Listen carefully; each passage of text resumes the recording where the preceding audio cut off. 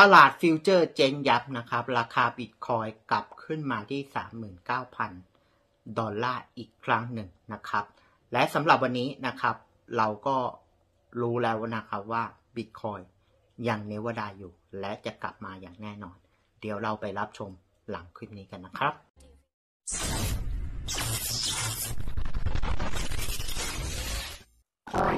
คอยนิวมูลนะครับ เนื่องจากราคาบิตคอยวันนี้นะครับ พุ่งขึ้นถึง 39,000 ดอลลาร์ มันเกิดอะไรขึ้น นักเทรดบิตคอยนะครับ จากตลาดฟิวเจอร์นะครับ ก็ทำการ short squeeze นะครับ หมดกระเป๋ากันเป็นแถวเลยนะครับ วันนี้เดี๋ยวเราไปรับชมในตัวข่าวด้วยกัน ในตัวข่าวเขาบอกราคาเหรียญนนะครับ ดูเหมือนจะมีการพุ่งขึ้นมาถึง 39,000 ดอลลาร์อย่างรุนแรงอีกครั้งหนึ่ง ในช่วงเช้าวันนี้ โดยเหตุการณ์เกิดขึ้นจากนักเทรดตลาด futures นะครับก็ short บนตลาด futures นั่นแหละนะครับ ที่คาดการว่าจะถูก squeeze นะครับ จนทำให้ต้องยอมปิด position และขายขาดทุนไป ฉะนั้นกราฟจาก TradingView เผยเห็นว่าราคาบิตคอยได้พุ่งแตะระดับที่ 39,590 ดอลลาร์นะครับ ในวันนี้จากเมื่อวานที่ปรับลงมาที่ 36,000 ดอลลาร์อย่างรุนแรง เมื่อ 7 โมงเช้าของวันนี้นะครับ แต่กระนั้น volume การซื้อขายก็ยังดูเบาบางนะครับ คือว่าในตลาด spot เนี่ยมันไอธุรกรรมในการซื้อขายนะครับ หรือ volume ในการซื้อขายก็มันก็ยังไม่เยอะนะครับ ฉะนั้นการขึ้นของราคาครั้งนี้น่าจะไม่เกิดความแข็งแกร่งนะครับ ในการยืนต่อราคาได้ถึงจุดนี้นะครับ น่าจะอยู่ที่ประมาณ 4 1 0 0 0นะครับ หรือ 40,000 อยู่ประมาณนี้นะครับ อาจจะไม่ได้เพิ่มไปมากกว่านี้ แต่ก็ต้องดูสถานการณ์ต่อไปนะครับ ว่าตกลงแล้วราคาบิตคอยจะปรับขึ้นเท่าไหร่นะครับ ก็ต้องว่ากันดูข่าวกันอีกทีนะว่าบิตคอยจะมีแนวโน้มยังไง แต่ตอนนี้นะครับก็เดาจากข้อมูลที่มีอยู่ตรงนี้นะครับ ว่านัก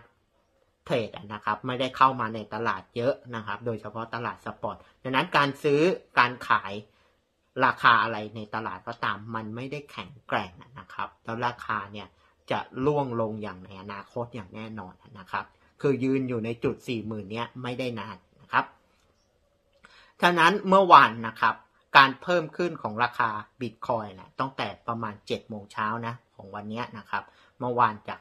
36,000นะครับ ปรับขึ้นมาถึง 39,000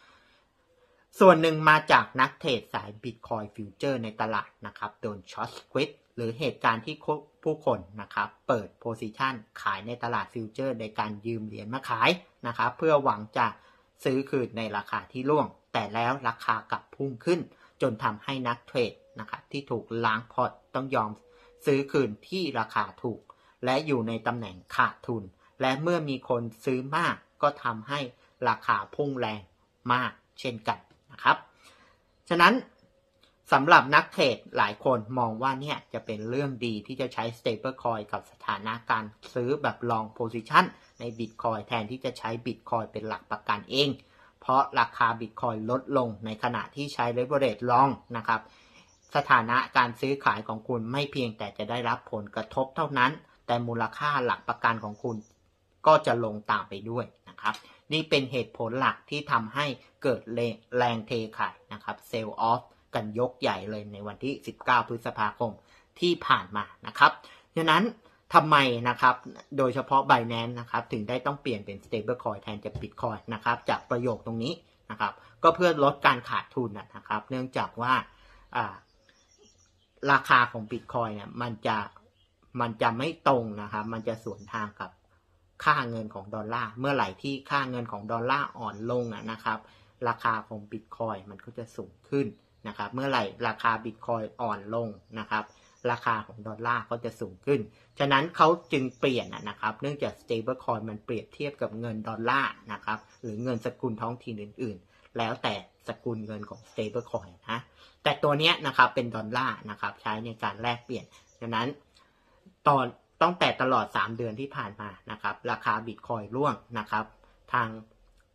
กระดาน Exchange เขาก็เลยเปลี่ยนกลยุทธ์นะครับ รวมถึงนักเทรดก็เปลี่ยนกลยุทธ์มาใช้ stable coin แทน เพื่อเวลาที่เอา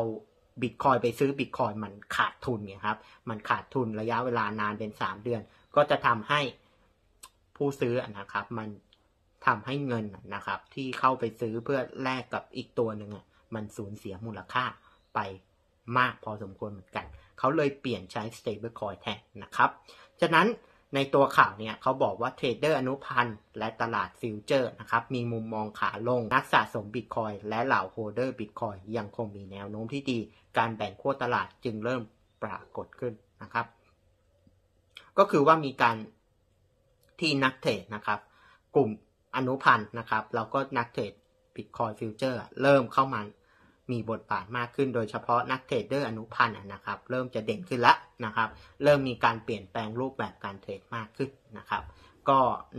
ถ้าราคาบิตคอยเนี่ยในปีหน้ามันเป็นอย่างนี้นะครับ คือว่ามันมีเวลาที่มันขึ้นน้อย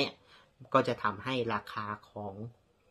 เหรียญต่างๆเนี่ยนะครับหรือว่ากลยุทธ์ต่างๆ ก็จะมากลับมาใช้เป็น trader อนุพันธ์แทนนะครับ ก็ต้องดูกันต่อไปนะว่า ปีหน้าราคาบิตคอยมันจะเป็นยังไงนะครับ แต่โดยเฉพาะอย่างยิ่งนะครับ การเดิมพันแบบขาลงที่เกิดขึ้นของ Binance โดยใช้ stablecoin เป็นหลักประกันได้เกิดขึ้น ซึ่งจะเห็นผลตัวเลขที่เพิ่มขึ้นในช่วง 3 เดือนที่ผ่านมานะครับ เพราะว่าเขามีการปรับเปลี่ยนกลยุทธ์เขารู้แล้วว่า ถ้าใช้บิตคอยไปซื้อบิตคอยมันจะขาดทุนนะครับเขาใช้ stablecoin แทนฉะนั้นกลไกการตลาดมีอยู่อย่างนี้นะครับ แต่ว่าผลบั้นปลายก็คือตลาด futures เหมือนกันนะครับ ฉะนั้น ผมบอกได้เลยว่านะครับ ตอนนี้ตลาดฟิวเจอร์ขาดทุนนะครับ เหตุที่ขาดทุนเป็นเพราะว่าเก็งกำไรผิด และตอนนี้นะครับ ราคาบิตคอยขึ้นมาถึง 40,000 แต่จะถามว่าบิตคอยเนี่ยสามารถไปได้สูงกว่านี้ไหม ในตอนนี้ต้องตอบเลยว่าไม่ได้นะครับ ตามข้อมูลตอนนี้บอกเลยนะว่าไม่ได้และจะลงมาเร็วด้วยนะครับฉะนั้นที่ นักเทรดนะครับบิตคอยฟิวเจอร์เนี่ยใหม่ หรือว่าอยู่ในตลาดฟิวเจอร์ ไม่กลับมาตลาด spot เป็นเพราะว่ามันยังขาดทุนอยู่นะครับ มันต้องใช้ระยะเวลาสักระยะหนึ่งนะครับ ที่จะกลับเข้ามา แต่ก็ไม่รู้ว่าจะกลับมาหรือเปล่านะครับ ก็เขาน่าจะเก็งในตลาดบิตคอย futures กันต่อไปนะหรือตลาดฟิวเจอร์กันต่อไปนะครับเพราะเขารู้อยู่แล้วนี่ข้อมูลจากตรงนี้ว่าราคามันจะลงอีกนะครับ ราคาจะลงอีกแน่นอนนะครับ เพราะว่า พวกเขาเนี่ยก็ไม่เข้าไปในตลาดนะครับ แต่ก็ต้องระวังให้ดีนะครับ โดยเฉพาะตลาดฟิวเจอร์ ในเมื่อคุณเล่นแบบนี้ พวกกลุ่มวาฬส่วนใหญ่เขาอยู่ในตลาด spot นะครับ หรือกลุ่มที่ว่านักลงทุนสถาบันน่ะส่วนใหญ่เขาอยู่ตลาด spot นะครับนับปีนี้นะนะครับเขาอยู่ในตลาด spot กันนะครับฉะนั้นถ้าเขาอยู่ในตลาด spot นะครับ ก็แสดงว่าเขาอะก็ต้องมีการ ชิงกำไรจากคุณไปได้เหมือนกันนะครับ